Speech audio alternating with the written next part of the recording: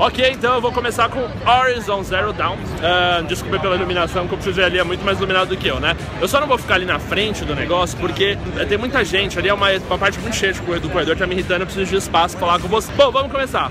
Horizon, gente, tem um, selo, tem um selo da UOL ali atrás de mim, que estranho. Aqui, ó, se liga.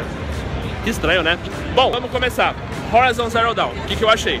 Cara, primeiro, foi uma das que eu mais gostei porque o gameplay era real. O cara tava realmente jogando na minha frente, né? Tinha um brother aí do lado, apresentaram e tal. E ele realmente teve dificuldade para jogar. Uh, ele matou dois dinossauros de robô. Uh, na verdade, alguns ele tava caçando, eram fraquinhos, e ele matou um dinossauro robô gigante, aparentemente difícil. Ele fez uma cara de dificuldade, o pessoal aplaudiu no final, mas eu fiz questão de perguntar se ele realmente estava jogando. E sim, ele, ele não, desculpa, se dava para morrer. E ele me falou que não, ele estava jogando, mas não dava para morrer. É, o demo desenvolvido para jogar ali não dá para morrer, beleza? Isso é bom deixar bem claro, porque ele fez tipo, uma cara de sofrimento e tal.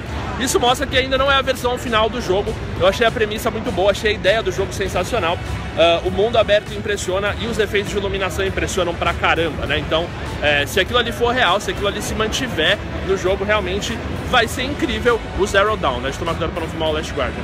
Então, assim, Iluminação incrível, gráficos incríveis, mas o jogo não era real, tá? Então o cara não podia morrer, tinha um dinossauro gigante, se batesse dele ele falou que ele até tinha uma certa reação física e se ele levasse dano, o personagem dele, ela demonstrava. Mas eu percebi na HUD que não tinha life, que não tinha vida do personagem, então foi por isso que eu fui perguntar.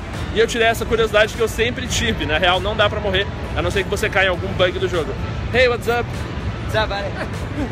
Enfim, bela foto. Thank you. ok, então, experiência da hora. Gostei, gostei do que vi. Estou empolgado pelo Zero Dawn.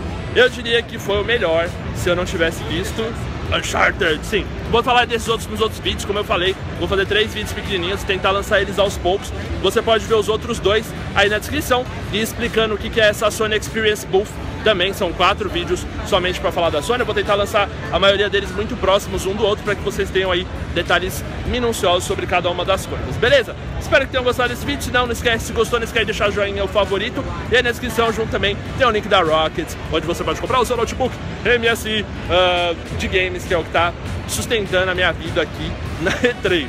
Certo, pessoal? Muito obrigado, tamo junto. Não perca os próximos vídeos. O próximo que eu vou falar vai ser The Last Guardian. E desse eu vou dar uma metida de pau. Enfim, esperem. É nóis, gente. Um beijo. Fui!